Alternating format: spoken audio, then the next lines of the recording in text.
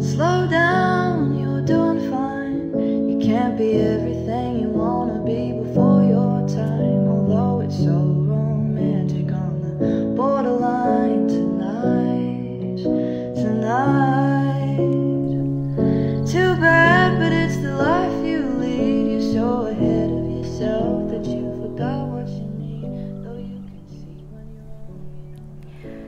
O kadar uzun zaman oldu ki böyle kendimle baş başa kalmayalı ve şehirden uzaklaşıp doğanın içine tek başıma oturmayalı çok uzun zaman oldu.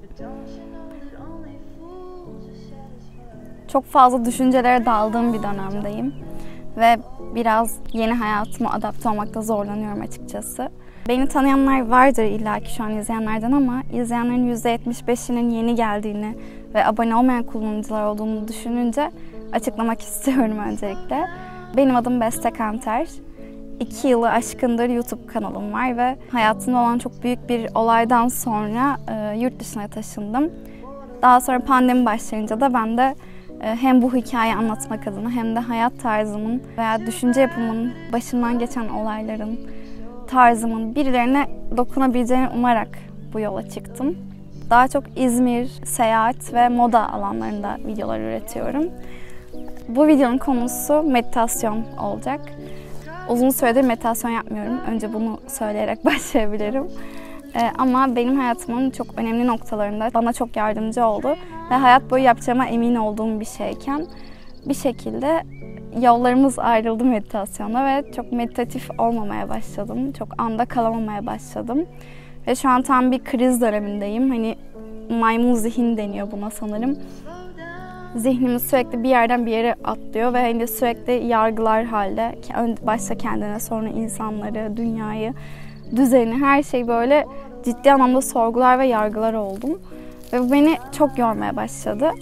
E, meditasyonla ilgili çok önyargılı bir insan olarak eskiden e, ben de hem kendi yolculuğumu anlatmak istedim hem de birkaç hani meditasyon nedir diye çok basit bilgilerle e, bu videoda aslında belki de benim önyargımı Trail of Us YouTube kanalı kırdığı gibi ben de sizinkine destek olurum diye umarak bu videoyu çekmeye karar verdim.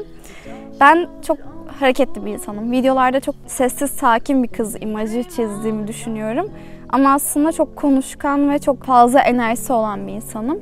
O yüzden şu anda evden çalıştığım dönemde olduğum için bu sakinlik bende çok farklı bir şekilde dışa vuruyor açıkçası bu sakin hayat tarzı. Bu yüzden de aslında meditasyona artık dönmek zorundayım gibi hissediyorum. Ben bu kadar hareketli bir insanken meditasyona ve yogaya karşı bakış açım çok gereksiz bulduğum demeyeyim ama ön yargılı olduğum bir şeydi. Aslında meditasyon ne? Onunla başlayalım. Böyle çok teorik bilgiler vesaire vermeyeceğim.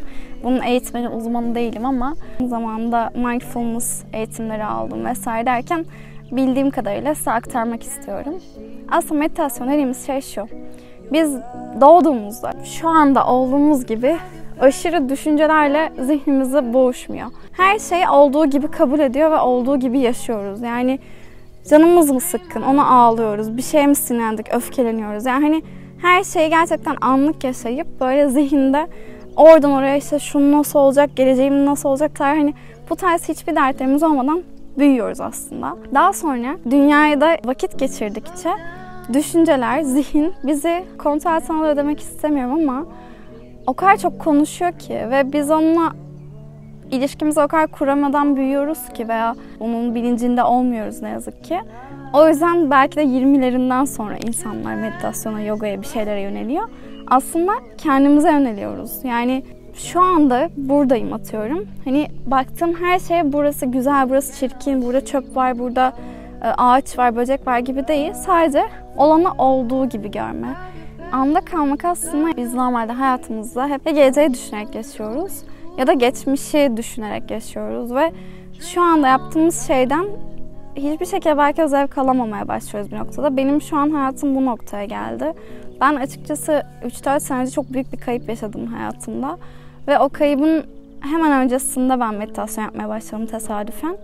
Ve o olaydan sonra yapmaya devam ettim ve bu bana çok iyi geldi. Yaptım dediğim bu arada günde 5 dakikamı ayırıyordum. Meditopya diye bir uygulama indirdim. Herkese uygun bir uygulama bence. Meditasyon çok fazla farklı çeşidi var ve herkese uyacak şey farklıdır bence. Ama normalde sessiz ve sakin kalmaya, zihnini dinlemeye alışık olmayan insanlar için bence benim fikrimce bir şey dinleyerek meditasyon yapmak başlangıçta daha kolay. Meditasyon yapan insanlar hiçbir şey hissetmiyor, hayatı ütopik bir noktada yaşıyor değil. Onlar da öfkeleniyor belki, onlar da ağlıyor ama olayı hikayeleştirip uzatmıyor. Yani aslında en basitten örnek verecek olursam mesela acı duygusunu yaşıyoruz. Yaşarken neden bu benim başıma geldi, niye ben hep böyleyim gibi hani bir sürü karmaşanın içine boğulurken veya acı hissetmek istemiyorum gibi böyle olanı reddetmektense aslında evet şu an canım acıyor ve hani bu bir şekilde geçecek diye bunun zamanı verirseniz emin olun çok daha hızlı iyileşiyorsunuz. Bence her konuda böyle. Yaşayacağınız her türlü olumlu olumsuz duygunun geçici olduğunu. Gerçekten bu süreçte ben anladım. Headspace diye çok güzel bir uygulama var. Aynı zamanda Netflix'te animasyonlu bir belgesel. Çok güzel. Onda bir sahne vardı. İlk bölümündeydi diye hatırlıyorum. Bir trafik var ve o sizin düşünceleriniz gibi düşünün. Ve siz orada o arabaların ortasına gidip böyle neye uğradığınızı şaşırabilirsiniz.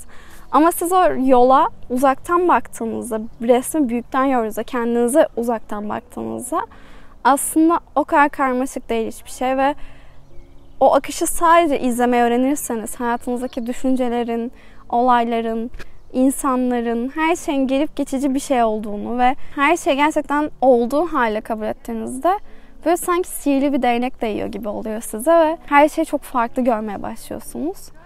Çok özledim öyle olmayı. Çok ilginç bir şekilde bu beyin kası gibi bir şey aslında. Her gün yapılması nedeni bu. Her gün 5 dakikada olsa, yarım saatte olsa düzenli tekrar edilmesi gerekmesi nedeni bu. Ben bir yılı aşkın boyunca yaptım ve bana çok iyi geldiğini düşündüğüm halde bir yerden sonra nedense bıraktım. Şu anda hiç meditasyon yapmamış ve hiç o duyguları tatmamış birisiymiş gibi şey hissediyorum. Nasıl o kadar dingin ve hayatı kabul etmiş bir şekilde yaşıyordum. Onu çok merak ediyorum. Çünkü o dönemde şöyle bir şey olmuştu. Bir arkadaşımla birlikte onun arkadaşları oturdum böyle 10-15 kişilik bir grupla. Normalde ortak noktanın olmadığı insanlar diyeyim. Arkadaşım kalkması gerekti. Ben de insanları çok ilginç buldum. Yani e, çok alakasızız. Çok daha böyle şey kafadalar. Daha asi ruhlu insanlar diyeyim. Ama dinlemek istedim ve yanlarında hiç kimseye konuşmadan çok ilginç bir şekilde ve onlar da beni yadırgamadı sağ olsunlar. İki saatim, üç saatim orada oturup onlarla vakit geçirip sonra eve döndüm. Ve bu arada onlar da büyük ihtimal anlamadı. Bu kız nereden geldi diye bir ara birisi söyledi yanındakine işte. Ne alaka ne, ne işi var burada? Ha şunun arkadaşı falan diye bir konuşma oldu. Ona bir cevap bile verme gereği duymadım.